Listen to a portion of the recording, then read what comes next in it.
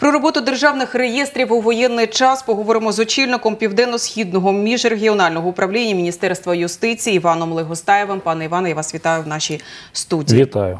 Отже, війна внесла корективи роботу підрозділів юстиції. Які саме корективи? Справа в тому, що е, приймається багато нових нормативно-правових актів, які наші працівники е, виконують. Це вносить певні корективи до роботи. Е, Якщо до нашої теми щодо до реєстрів, то основним е, таким новим нормативно-правовим актом є постанова Кабінету міністрів номер 209 від 6 березня. Вона регулює е, основні засади роботи з реєстрами, які належать Міністерству юстиції України. І е, наше територіальне управління, е, територіальний орган, ми також працюємо е, зі всіма цими реєстрами і надаємо послуги нашим громадянам. Які саме реєстри працюють? Е, Держреєстри? Основні реєстри, які цікавлять громадян, це єдиний державний реєстр підприємств, установ та організацій громадських формувань та так званий реєстр нерухомого майна та його обтяжень. Е, Справа в тому, що у Міністерстві юстиції є багато реєстрів. Це і реєстр бланків, і реєстр заповітів, і реєстр актів цивільного стану. Всі ці реєстри працюють, але громадянам цікавить ці два основних реєстри. Тобто, як то кажуть, бізнес, юридичні особи, громадські організації, благодійні фонди і е, нерухомість, ну звісно, майно нерухоме. Це одна з головних, так сказати, е, цінностей, як правило, майнових. Зміна засновника юридично вже можна внести до реєстру? Е, Справа в тому, що е, юридично зараз засновника змінити не можна.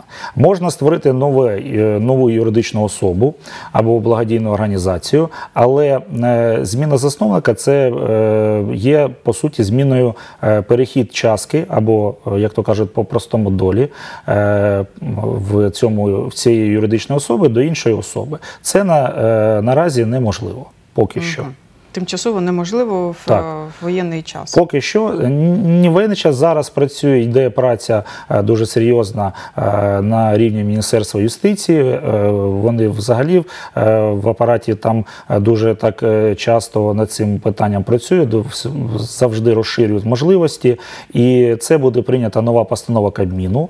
Е, Звісно, за нею відповідає Міністерство юстиції. Там вже будуть інші можливості, котрі дозволять більш повно користуватися реєстром нерухомого майна. Реєстр не- нерухомості він вже запрацював? Чи бу- була Е, інформація, що в травні запрацює? Е, Скажімо так. Частково, дуже обмежено, він вже працює. Тобто робітники, певні державні реєстратори, в тому числі робітники е, нашого управління, можуть, наприклад, на підставі ухвал або рішень судів накладати заборони на користування е, певним майном. Е, Можна реєструвати нерухоме майно, мається на увазі первічна реєстрація, коли воно новозбудоване, наприклад. Але як це більш цікаво громадянам щодо продажу квартир або е, будинків, вторичний, як то кажуть, продаж, це от зараз проводиться е, дуже така серйозна робота Міністерством юстиції, і е, невдовзі буде, може навіть і сьогодні, або до кінця тижня прийнята вже постанова Кабміна. Е, Скоріш за все, я не можу там знати, як що насправді, але спілкуються як департамент там працює певний, і багато осіб цим займається для того, щоб як можна скоріше, е, як можна е, більше могло реєстраторів та головне нотаріусів вже повернутися до своїх звичних обов'язків та надавати громадянам необхідні послуги.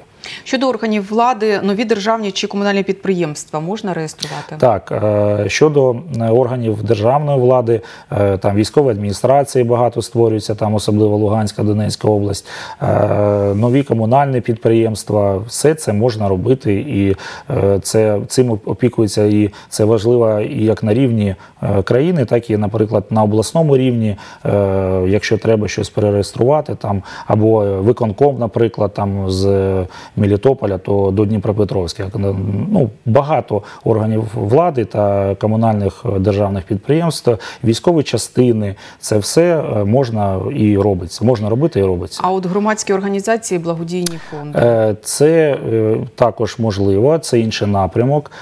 Там можливо створювати як нові, так і змінювати керівництво, види діяльності.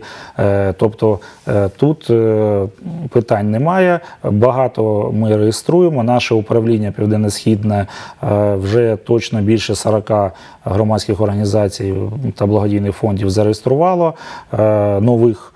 Е, Ну і багато внесло зміни до вже існуючих. Там де керівника змінили, де ще когось.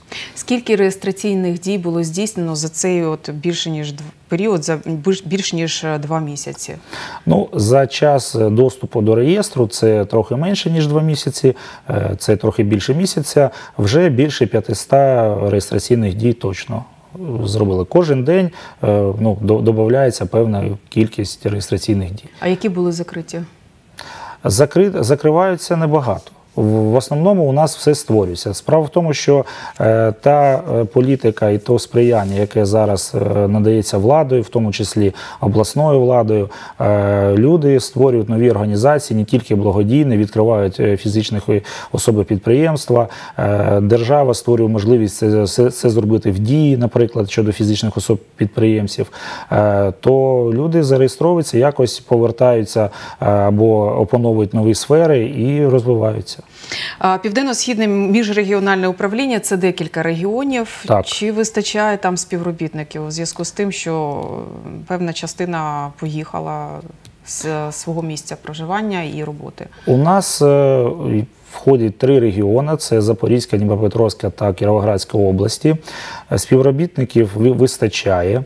Так, певна частина людей поїхала, але е, більше е, проблема є там, де ведуться активні бойові дії. Там ми перевели до простою, тому що фізично неможливо і це небезпечно для життя та здоров'я виходити на роботу та здійснювати якісь е, функції, які ми здійснювали до, до цього. Але е, я хочу сказати, що е, не так багато поїхала, е, частина вже повернулася, тобто побували у відпустці, відпочили і бачать, що у нас дуже такий добрий підхід наших е, співробітників, особливо органи державної реєстрації актів цивільного стану, е, державні виконавці.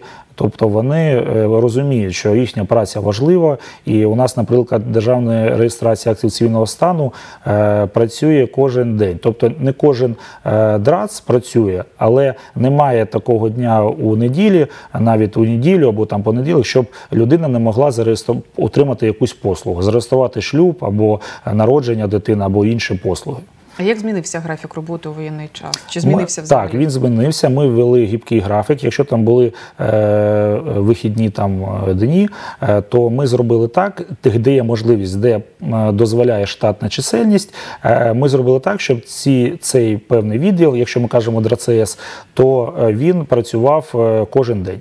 Для того, щоб це стосується міста Дніпра, це стосується міста Кривого Рогу, це, ну, це стосується великих е, міст з великим населенням, де великий попит. Е, Взагалом е, ми не порушуємо трудове право, тобто у нас держслужбовці працюють 5 днів, е, 40 годин на тиждень. Навіть закон, який був прийнятий, багато знає, він не стосується державної служби, тому за цим ми дуже добре слідкуємо. Але якщо там, наприклад, у нас 10 е, осіб працює у відділі ДРАЦ, то е, деякі особи згідно гібкого графіку, гнучкого, правильно сказати, е, вони працюють там з вівторка до, наприклад, по неділю. Хтось з понеділка по суботу, а хтось з понеділ...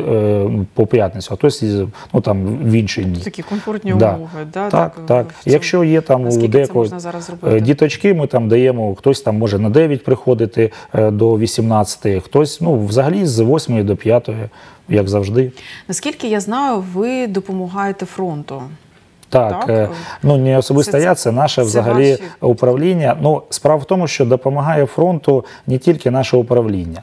Е, Тобто, за дозволом, наприклад, от е, Міністерство юстиції, і ми передали там близько ну не близько 14 автомобілів вже на потреби ЗСУ там тероборони. Це, це ті е, наші державні машини, керівництво. Це, це стосується ДВС, тобто ДВС це в нас взагалі великі, так сказати, молодці. Вони не тільки е, допомагають фронту роботою тою якісною, але і матеріальною, як то кажуть.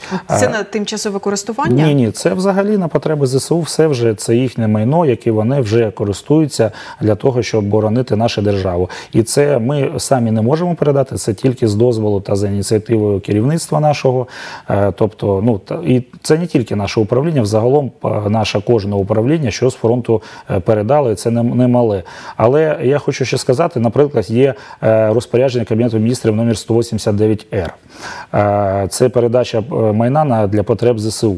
І багато е, майна було передано там палива, ті ж риболовецькі снасті, які там, щоб сітки маскировочні робити, або там будівельні матеріали, бетонні блоки, наприклад, і багато-багато там іншого лісу, наприклад, було передано для ЗСУ для потреб ще в перші тижні. І це завдяки роботі е, Перш за все, органів е, ДВС, тобто державних виконавців, але і також реєстрація актів цивільного стану е, також працює е, ну, та, навіть понаднормована для того, щоб е, ну, забезпечити всі потреби. Ну, це дійсно суттєва допомога. Дякую вам за це. І дякую вам за те, що прийшли сьогодні у студію, за цю бесіду і за відповіді Вам також на дякую. питання. Так, а вам я нагадаю, що про роботу державних реєстрів у воєнний час ми говорили з очільником південно-східного міжрегіонального управління Міністерства юстиції Іваном Легостаєвим.